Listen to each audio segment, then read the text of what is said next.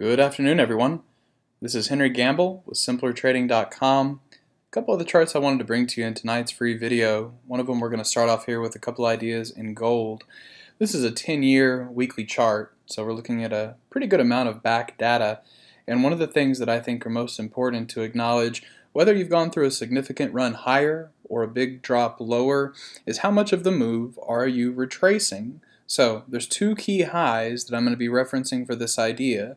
One of them is the 185.85 that is the high that we've seen for this amount of data and uh, the other is going to be kind of right here where you found these three previous highs that was just a little bit lower right here around 170. This was the biggest obviously a very big move down from 185 to 100 and that's the move that I'm wanting to analyze. So I will take my fib retracement tool and I will run that from this swing high down into this swing low and then I'll do the exact same thing for this high against this low. Now you could argue the use of the other two highs right in here, but ultimately they're so close to being the same price that they're going to give you a very similar zone. I tend to use the higher of them you know, I feel like these two that I have run have enough differences that both of them need to be utilized. But the thing that I want to show you here is note how from that little bit smaller high to low swing, how you perfectly retraced a 618 of that move.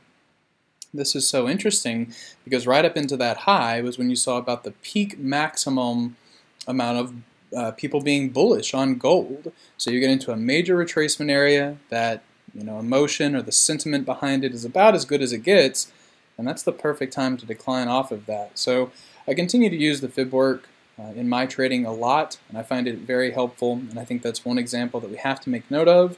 I think that gold could pull back into something like 131.15, and then it's going to be time to play that back to the buy side. Ultimately, I only really want to be long and to be buying gold but I think I'm going to have a better chance to do it from some significantly lower prices. Alright, that's one commodity, kind of a bearish take. Another I wanted to bring to you that is more on the buy side is looking here at Costco.